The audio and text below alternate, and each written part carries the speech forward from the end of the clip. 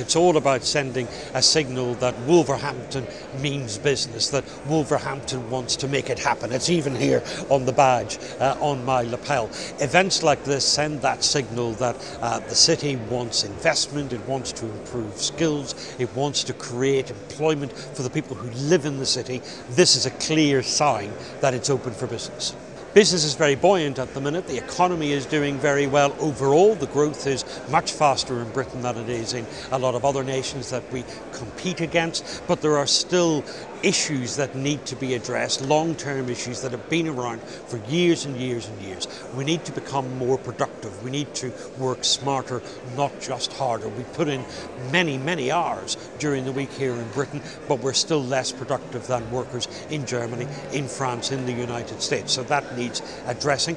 One of the key things uh, to deal with that productivity problem is raising the level of skills, and that needs a big push, not just by business, but also also by schools and by the public sector and by local government, the type of partnership that's happening right here in Wolverhampton.